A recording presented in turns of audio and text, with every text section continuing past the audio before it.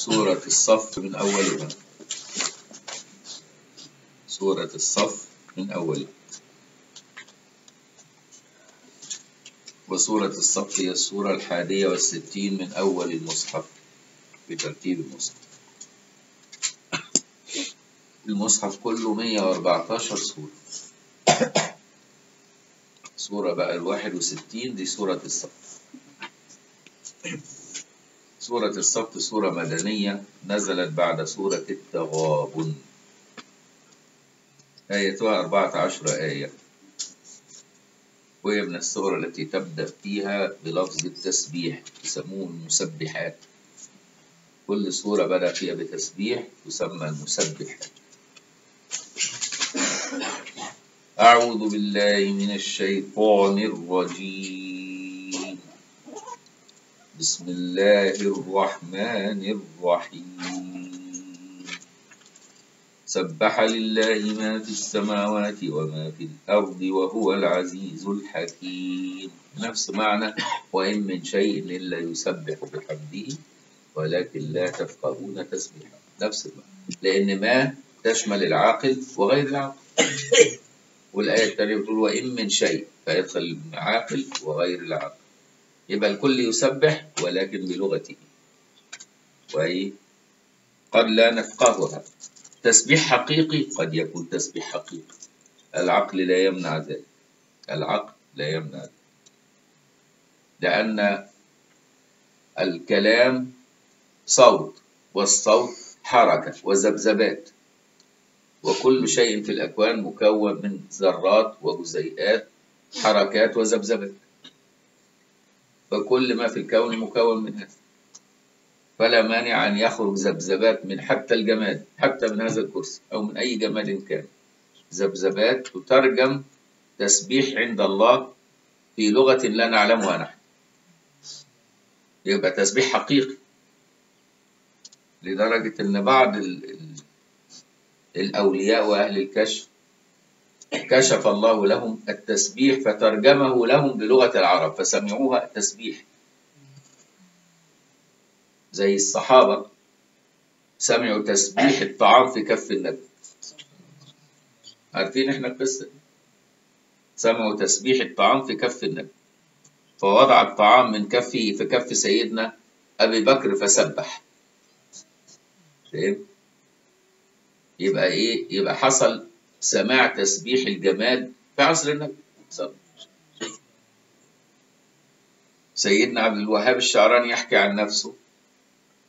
انه هو بيسجد سجده السجده الثانيه في صلاه الصبح في بيتي اللي هو مدفون فيه بباب الشعريه كان ده بيته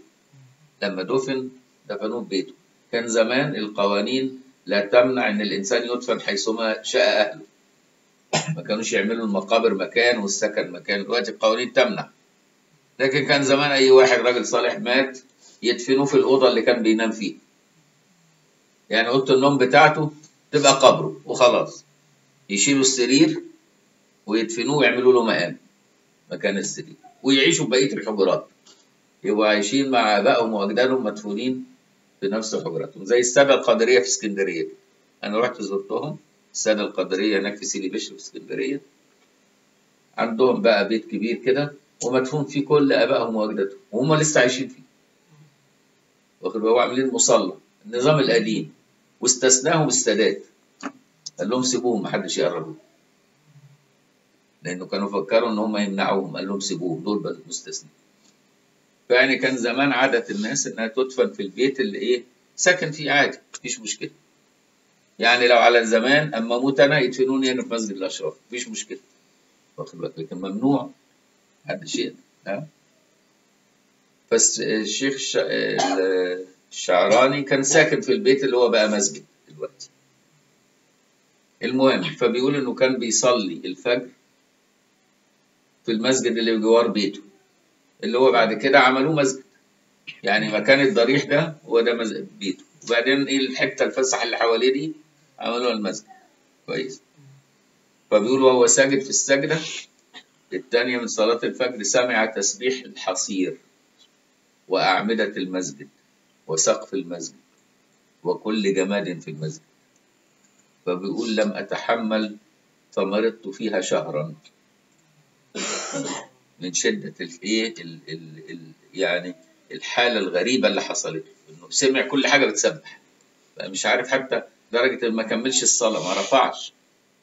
الناس خلصت الصلاة الأول زي ما هو ساجد شالوه حطوه على السرير وقعدوا يعدوه شهر من المرض يعني لو ربك كشف لك هذه الأشياء ما كنتش تعرف تنشط في حياتك ولا تركز ولا تخاطب صديقك ولا تذاكر ولا تحفظ قرآن ولا تعمل عبادة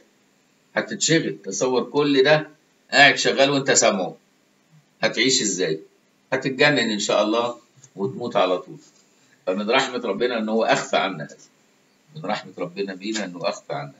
تصور تبقى نايم على السرير والسرير قاعد بيسبح طب هتنام ازاي؟ هتقول له اسكت مش هيسكت فهمت ازاي؟ ما تعرفش تيجي تخش اي تقعد تذاكر في الكتاب تلاقي الكتاب نفسه بيسبح طب انت بقى عايز فهمت ازاي؟ فهتبقى عمليه صعبه لكن من رحمه ربنا ان هو اخفى عنا تسبيح الاكوان دي نعمه كبيره على مع اعتقادنا أن كل شيء يسبح لله سبحانه وتعالى بلغته بشيء يفهمه الله ولا نفهمه نحن وإن أراد الله أن يكشف عن أذاننا لأسمعنا كما أسمع بعض الصالحين يعني أنا مثلا قابلت واحد سوداني في إحدى عمراتي وحكى لي إن أبوه راجل ولي من الأولياء ومات وإنه كان بيحج في حجة زمان سنة حاجة وأربعين فجاب حصى معاه بتاع الجمرات جاب شوية جمرات معاه من منى واحتفظ بيها عنده في دولابه في الخرطوم في السودان بركة وبعدين بيقول وهو بيصلي بالليل سمع الحصى بتبكي لدرجة إن معرفش يصلي يعني كل ما يجي يدخل الصلاة بكاء طالع من داخل الدولاب اللي هو حاطط فيه الحصى يفتح يلاقي إيه كيس الحصى هو ده مصدر الصوت حسب ده علشان فارقت الأوطان فاهم؟ فبيقول لك خد الحصى ده تاني يوم بعد الفجر وراح لواحد صديقه كان طالع عمرة واداهوله قال له ارميه في ارميه في لاحسن ده ايه زعلان لأنه سابوت والعجيب بقى أن الإمام النووي ذكر في كتاب المناسك أنه يكره أخذ حجر الحرم إلى بلاد غير الحرم نص على هذا الامام في كتاب المناسك فهمت ازاي؟ قال لي لأن الأحجار دي اللي ربنا خلقها في الحرم لها هيئة معينة لا تستريح إلا في الحرم كأنه شوف الأمة شوف أمة النبي قلوبها رقيقة إزاي تشعر حتى بالجماد فهمت إزاي؟ فالحمد لله الذي جعلنا من هذه الأمة التي تسبح مع الأكوان إحنا الأمة الوحيدة التي تسبح مع الأكوان فالحمد لله على ذلك يلا يا سيدي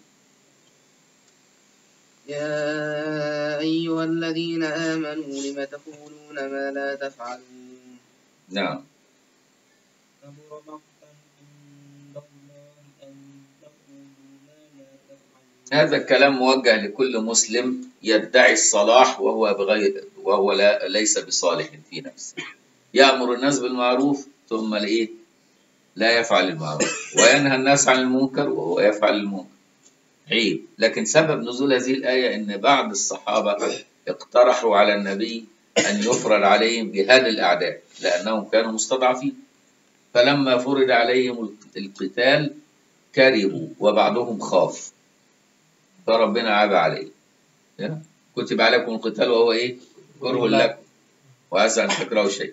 فلما كتب عليهم القتال إذا فريق منهم يخشون الناس كخشية الله وأشد خشية فنزلت الآيات دي في إيه؟ بالسبب ده يعني. لكن هي آية عامة في كل مسلم لا يأتمر بأوامر الشرع ثم يأمر غيره أن يأتمر.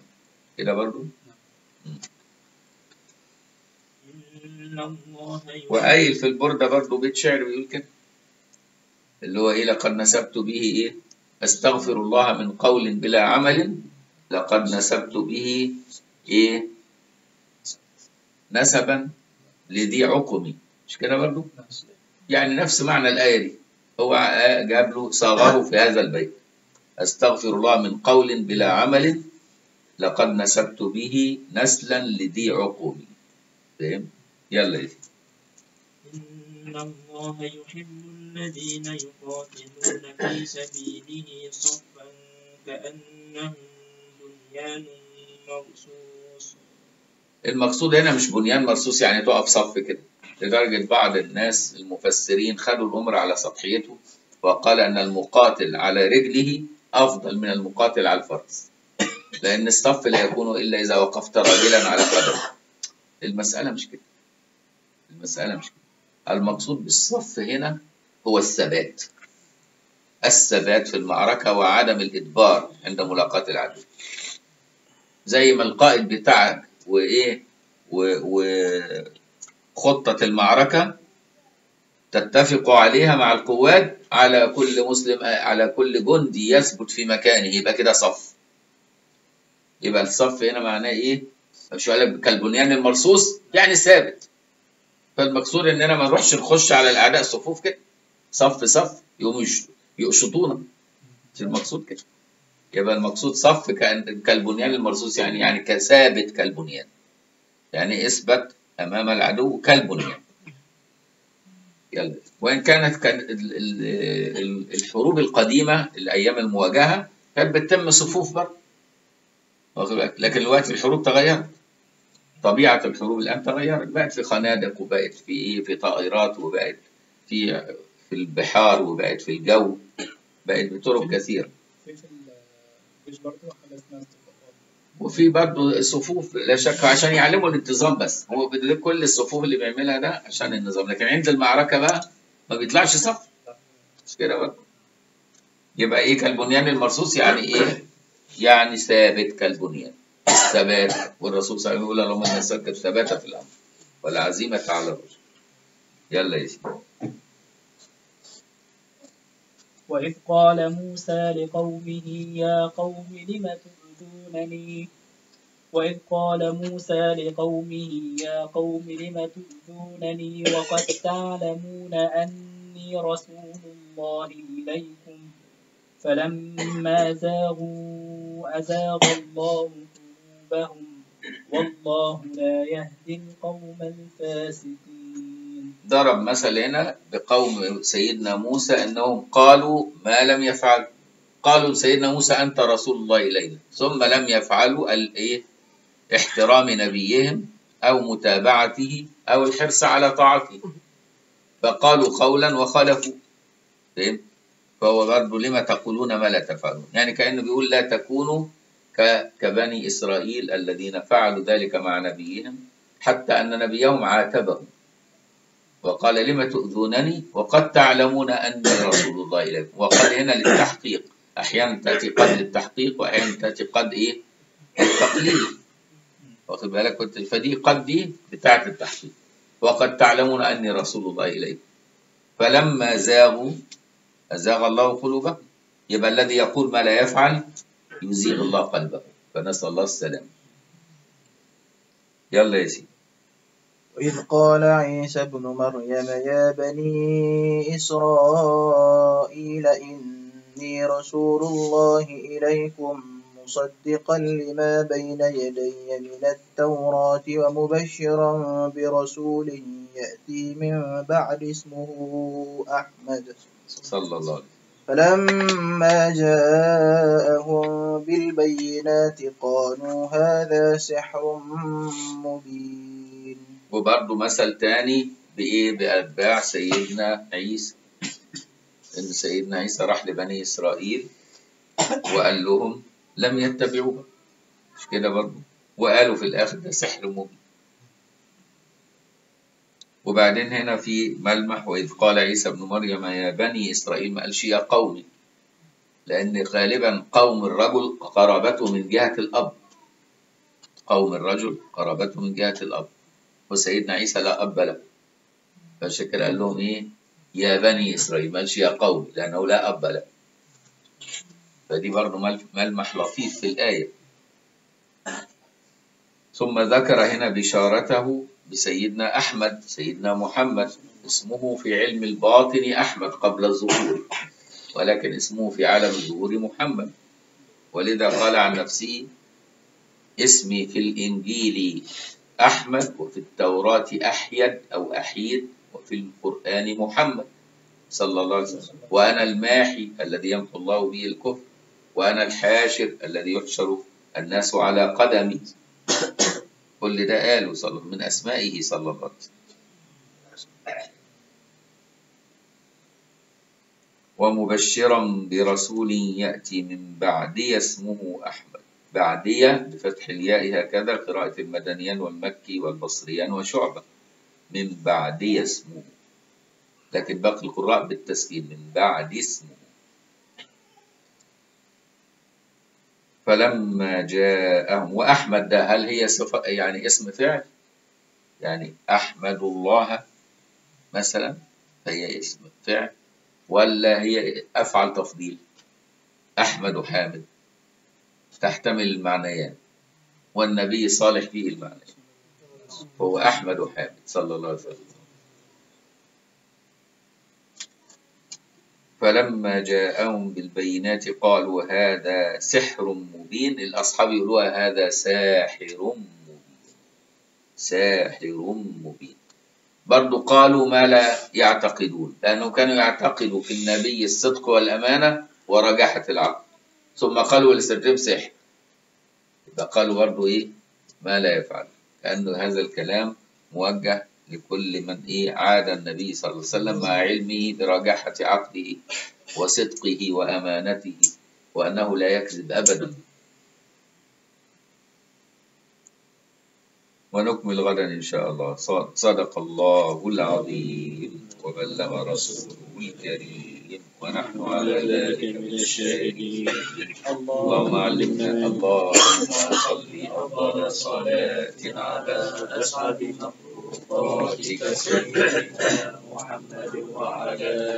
آله وصحبه وسلم على معلوماتك ومداد كلماتك كلما ذكرك الذاكرون وقال الله